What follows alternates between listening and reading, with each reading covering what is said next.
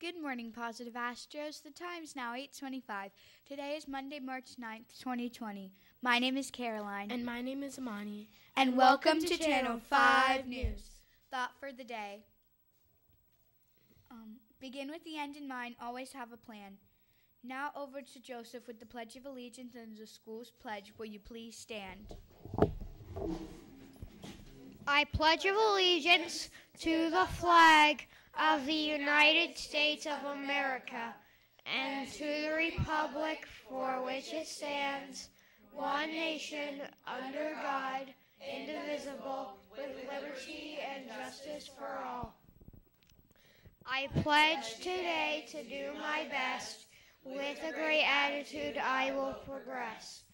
I promise to obey the rules and own my choices each day in school.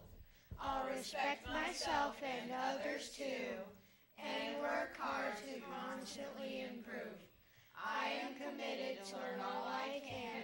I am in charge of my life's plan. Now back to the anchors. Thank you, Joseph. Today's announcements.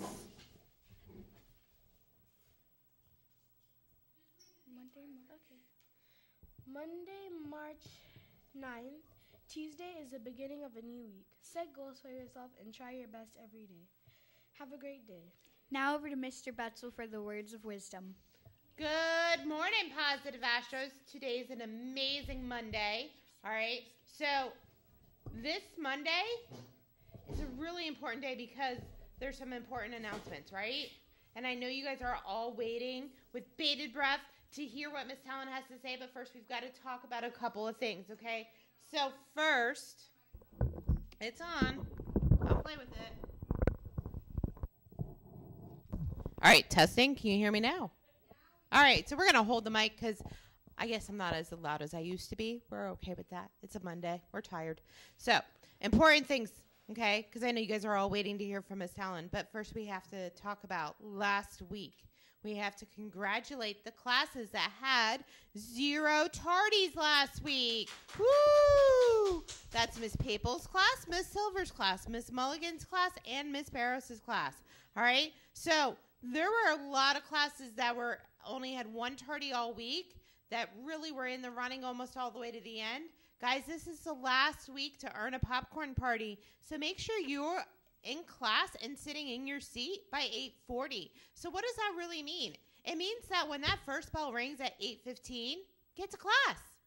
That is your time to get into class. Get started, get prepared to learn for your day. That's what that time is built in for, okay? We have that time built in for you to get prepared and get ready for your day. So if you know that you're running late every day, you need to adjust your time and come a little bit earlier to school because that's really important, okay? So talk to your parents, say, "Hey, we got to get to school like 20 minutes earlier. I could be in class at 8:15 and you're not getting me here till 8:35, mom. Come on. Let, let's leave 20 minutes earlier, okay? You can tell your parents that you want to be here earlier. They'll be like, "What? You want to go to school early?" You'll be like, "Yes, it's the best school in the world. Woohoo!" All right. Our word for this week. It's a very important word, okay? Our word for this week is empathy. So, what is empathy? Empathy is really about understanding how other people feel. So, sometimes that's really hard. And so, the best way to figure out how somebody else is feeling, feeling is putting yourself in that same exact situation mentally, like thinking about, well, what would I feel if I was in their place? How would I act? Would I be upset? Would I be sad? Would I be angry? Put yourself in their place, okay? And think about how you would feel if it was happening to you. That's a great way to think about it. So if you saw that somebody was getting picked on and teased and you saw them get really upset, well, wouldn't you get really upset too if you were t- picked on and teased? You would, okay? So then you would have empathy for them and be like, hey, I'm so sorry that they were picking on you. That wasn't kind of them. And I understand that that makes, you know, you feel really sad. I'd be really sad in that same situation. Okay? That's empathy.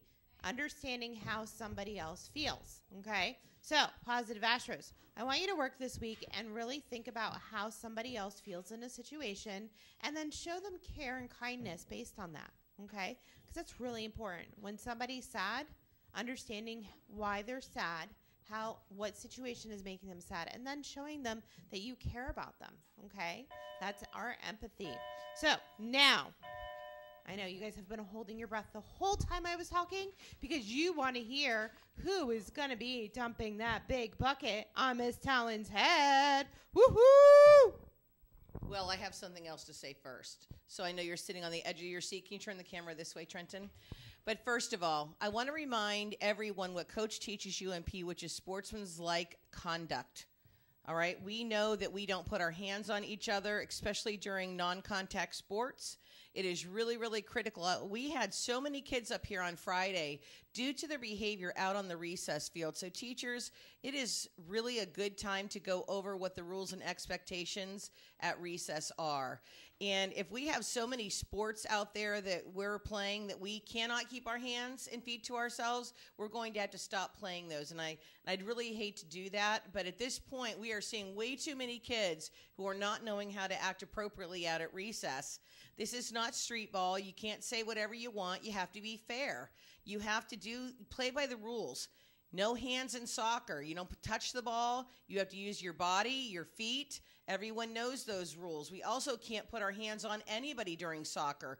Football, we're not playing any other football besides tossing the football. And tag gets a little pushy too. Some kids are falling to the ground, getting hurt.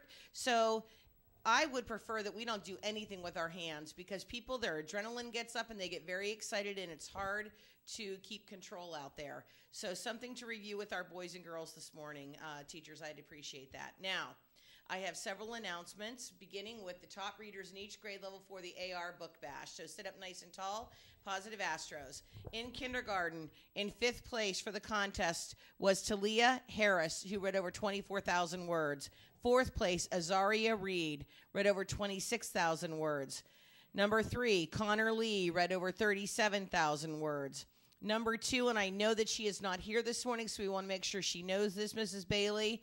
We have Addison Ziegelbauer, who read over 70,000 words. And our number one reader, who was the number one reader the whole way through the contest, is Sophia Partridge. I want you to listen to the amount of words a kindergarten student read Positive Astros over 152,000 words in three weeks. So, congratulations.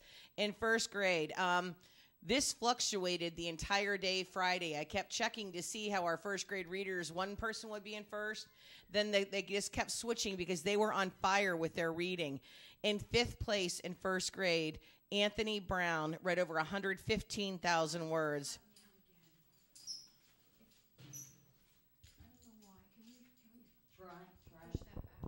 We're not hearing me, so hold on.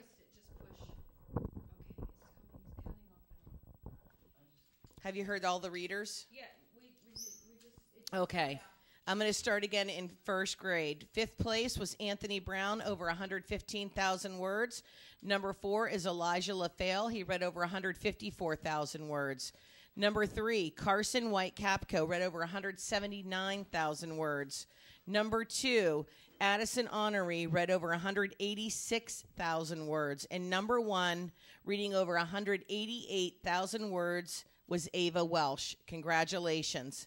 In second grade, our number five reader, Navoy Dehaney, read over 147,000 words. Number four, Riley Sylvester read over 169,000 words. Number three, Ryan Pelletier read over 177,000 words. Number two, Aaron Hall read over 185,000. And number one, Mason Daly read over 319,000 words. And I did already speak to Mason this morning to let him know before he left campus. In third grade, our top readers, number five, Reagan Malace read over 209,000 words. Number four, Jaden White Capco read over 323,000 words.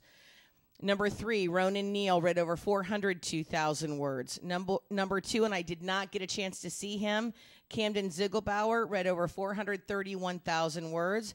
And number one, reading over 543,000 words, was Ava Pellegrino. Congratulations. In fourth grade, I want to say something. You were the top reading class. Um, in all grade levels. Fourth grade outread every single grade level. So, congratulations. In fifth grade, we have Colin Davis reading over 619,000. Number four, she told me she was nervous to hear the news today.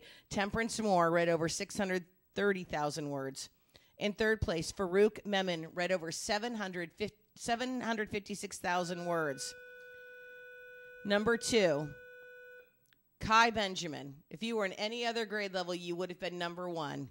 Kai Benjamin read over a million seventy-four thousand words, and our number one reader read more than anybody else in the entire school. Jacob Meelan read over one million four hundred sixteen thousand words in three weeks' time. So congratulations. In fifth grade, number five was Nikayla Price. She read over 577,000 words. Number four, Nicholas Warren read over 610,000 words. Number three, Aniseta Vasquez read over 660,000 words. Number two, Caleb Ziegelbauer read over 793,000 words. And number one, and again, he was number one the entire contest, Tristan Brooks read over 980,000 words. Congratulations to our top readers. Now, the five of you will be coming to practice on Wednesday and Thursday. We will announce those times later this week. They're on the calendar, teachers, so that we can practice um, everything we need to go over for the assemblies on Friday. So, Positive Astros, make sure that you are ready and on time, teachers, for those practices. Our top reading classes who will be getting a popsicle party at recess on Friday are in kindergarten, Mrs. Bailey's class read over 437,000 words. In first grade, Miss Silver's class, they read over 1,348,000 words. In second grade, this was a hot competition. Uh, Mrs. Listen's class read over 1,432,000 words. In third grade, again, a tight competition. Mrs. Mulligan's class read over 2,343,000 words. In fourth grade, top reading class in the entire school for the contest. Mrs. Malia's fourth grade class, 6,138,000 words. In fifth grade, the top reading class was Mrs. Barros's class, 4,942,000 words. So, congratulations, teachers. We know kids don't read without you motivating them. So, congratulations. Did you were you going to speak, Mrs. Oh, okay. She's just here visiting today. All right, that's all for me today. Positive Astros back to the anchors. Thank you, Mr. Butzel and Miss Talon. This week's announcements. Remember to always wear your sneakers to keep your feet safe. Now to Miss Morrison. Good weather. Oh. Okay, um, now to. Wait, there's after Weather. Weather. Um, lunch for today. Minnie. That's me. Okay, Lunch now for over to. Joseph for the weather report. Today, it um, uh, it will be partly cloudy with a high of 80 and a low of 58, with a zero percent chance of rain. Tomorrow it will be partly cloudy with an 83 um, uh, of high and 59 of low, with a 20 percent chance of rain. Now back to the anchors. Thank, thank you, Joseph. Today's annou- I mean lunch for today: mini cheese calzones with marinara sauce, carrot coins, green beans, choi- green beans, choice of fruit, milk. Birthdays for tomorrow. No. Oh my God, this is just sad. Breakfast for tomorrow: sausage or sandwich or choice of cereal with whole grain pop tart, oatmeal, low fat milk. Birthdays for today. Jordan Clay, happy birthday. Now over to Joseph with the Daily Science Journal.